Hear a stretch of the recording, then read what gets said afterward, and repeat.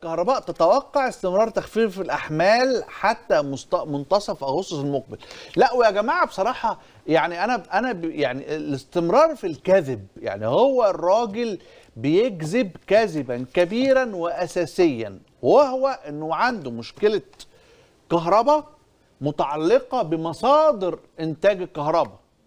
مصادر الطاقة اللي بتخلي محطات الكهرباء تنتج الكهرباء لحضراتكم. هو حتى هذه اللحظة كذاب وبيقول لك دي تخفيف أحمال عشان أنتوا بتستخدموا كهرباء كتير. مع ان الحقيقة مش كده. والخناقة العلنية ما بين وزير البترول ووزير وزير الكهرباء تؤكد هذا الكلام ان الموضوع ملوش علاقة بتخفيف الأحمال. الموضوع له علاقة بالقدرة على الإنتاج.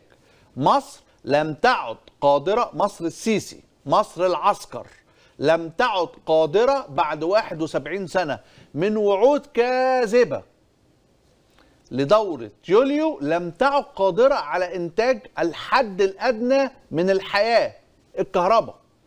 وده فشل تاني. فاكرين كويس لما لما شفنا بعيوننا فيديوهات الناس وهي بتموت في أزمة الكورونا؟ لأنه تلك المصر الفاشلة العسكرية ما كانتش قادرة توزع الأكسجين. الأكسجين في مواعيده الطبيعية والرسمية.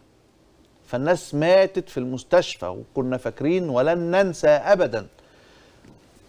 مشهد الممرضة وهي تنهار في البكاء لأنه كل المرضى بيموتوا في نفس التوقيت وهي مش عارفة تنقذهم. مشهد لن ننساه ابدا. ربنا يصبرها ويقويها ولو بتسمعني. عايز أقول لها إن أنا مش هنساكي ابدا. أنت يعني حصل لك موقف إنساني رهيب يؤكد على عملك وإيمانك بعملك وإيمانك بضرورة عملك لكن للأسف مش كل المصريين قادرين ينفذوا خدمات الصحيه الطبيعيه للمصريين. إحنا في دولة فاشلة. مش أيوه؟ بالظبط. لن أنسى هذه الصورة. ربنا يكون يعني في عونك و... وتتجاوزي هذه اللحظة و... و... وتؤكد الصورة إنه في مواطنين عايزين يقدموا الخدمة عايزين يخدموا الشعب. وفي دولة فاشلة في إدارة كل شيء. المشكلة مش في المصريين. المشكلة مش في عدد سكان مصر. المشكلة في إدارة سكان مصر. المشكلة مش في فلوس المصريين أغنياء ولا فقراء. المشكلة الحقيقية في إدارة مصر.